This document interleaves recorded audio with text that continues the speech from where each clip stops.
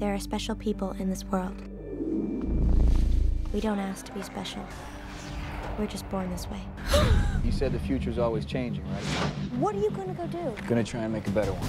The story we're telling is about a bunch of rogue psychics trying to keep away from a government division. And I'm not a conspiratorial theorist, that's not my thing, but what if it does exist? When I got the script, the first thing I did is I went on the internet and I, I typed in, everyone should do this, psychic powers experiments.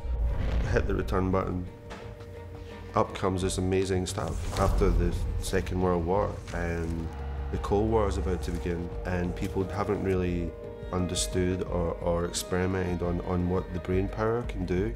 How can we not only use it to our own gains, but how can we actually twist it and make it make it more powerful?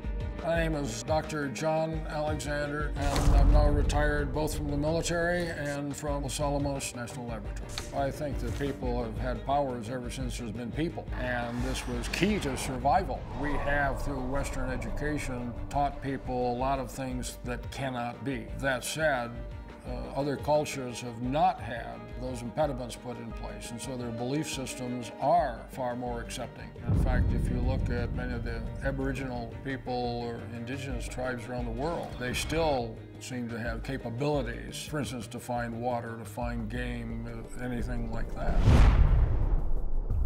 We have become such skeptics and I think heavily influenced by people who are not skeptics, uh, but are debunkers who start on the premise it can't be, therefore it isn't, and I don't know how you did it, but I know you tricked me somehow.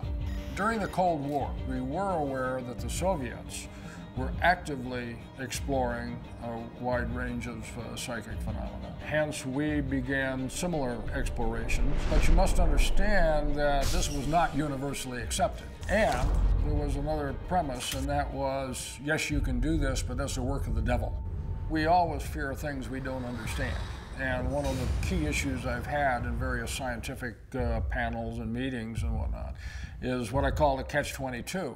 We say, here are very unusual events that absolutely occur. And they say, well, what's your theoretical basis for that? And you say, well, I don't understand it, uh, but it happens and science in general will discount it, uh, even if it happened and even if it happened in front of them, which has occurred on numerous occasions. When I was working with the intelligence community in the Army, we were very serious about exploring a wide range of psychic phenomena. What we have seen is people have a broad range of power, psychokinesis, remote viewing, uh, things of that nature, for instance. We talk about the visual spectrum, what you can see.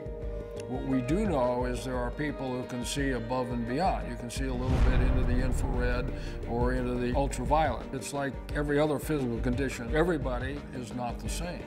And so you will find people who can see things that other folks don't. Well, to me, it wasn't about supernatural powers. It wasn't like people flying through the air, like having spider webs coming out of them. It's actually very simple powers. You have people that can move things. So it's a telekinetic thing. What we have seen, things are deformed, bent. Uh, I've seen strange things fly. And there are certainly people who can injure others. Nikolai Khokhlov, a KGB defector, he talked about breaking necks remotely. Uh, that, that's pretty severe damage. You have watchers, they can see into the future. Stupid child. I already saw how you died. Then you know it's not here and it's not today. You would probably call this psychic spying. The ability to see places where you cannot have access to with satellites or didn't have spies. Classic example, the Iranian hostage situation. Could not get access to the information what was happening in Tehran, and yet some of our people in the unit were able to accurately provide information about the status of people. They predicted when one person was going to be released, and sure enough, it happened.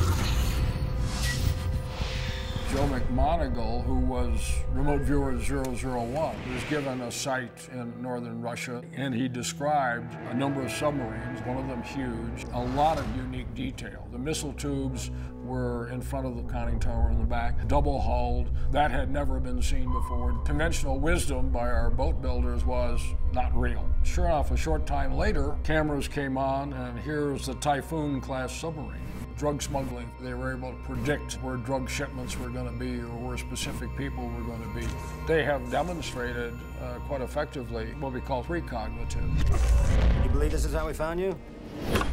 Sniffers, if you had brushed your teeth 20 years ago, the toothbrush, they can sniff you out and they can find you. People use what we call psychometry and that's the ability to hold things and from that get imprints. Where has it been? Who's owned it? What was it involved in? These things do happen. Whatever this key unlocks is being shadowed. Like I've never seen before. Pushers can push a memory onto you. Get the hell out of my head! Certainly there are ways to do that. I can implant thoughts so that what you see is not what's actually there. That is well documented in hypnosis, where you can, working with an individual, and now it's somewhat difficult to make them not see things. Uh, but having people see things that aren't there. In a hypnotic state, that's a piece of cake. Hey! We're on the same side, remember? There are things that can now be done with electromagnetics to implant thoughts as well. So that's a very physical sort of thing. Go, go, go! You have bleeders. Bleeders are able to emit a high-pitched noise, which, as their description is, will you will bleed through your ears and you'll, you'll you'll be killed. We have devices that can do that certainly because the use of sound is well known. And in fact, we now in the non-lethal weapons, this is one of the areas where we have LRAD, the long-range acoustic device that can keep people at bay. We, we know a lot about sound, and sound can be raised to levels that, you know, basically as vibrating organs can, it's called uh, bleeding. Your stitch. That should be obvious to a watcher. Stitches are interesting. Stitches can stitch up what has happened with the bleeders. So basically, if the bleeder's trying to kill you, the stitch can come and, as, as the word says, it will stitch you up. They'll, they'll make you okay. I've seen amazing healing uh, capabilities. Does it work all the time? No, not by any stretch of the imagination, or we would have seen a dramatic change in the way we do medicine. But the studies on prayer, uh, for instance, uh, as well as hands-on healing has been well demonstrated in the laboratory. But cuts, illnesses, uh, fevers, things of this nature. And again, demonstrated in the laboratory and often using unicellular life, meaning the cells don't have any external concept of healing or not healing and that. And yet you see dramatic changes, and particularly in the rate uh, of healing. All of these technologies, by the way, are neutral. The issue is not the technology, it's how do you apply them. I don't see why you keep at it. You already know the ending to this story. We're going to change it.